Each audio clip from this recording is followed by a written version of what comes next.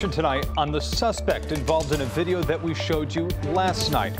We're now learning what led up to an incident caught on police body cam video of an arrest in Bridgeport that happened Sunday afternoon.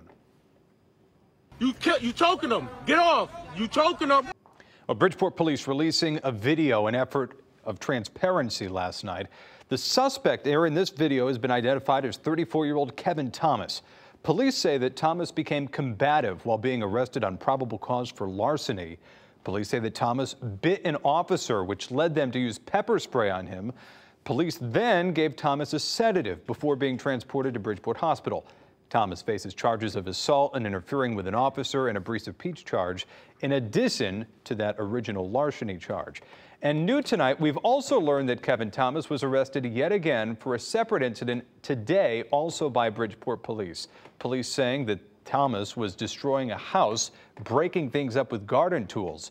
Thomas then according allegedly ran from that scene today and was later found in a wooded area. He initially resisted arrest today, but was taken into custody without incident and charged with criminal mischief, interfering with an officer, breach of peace, and reckless endangerment.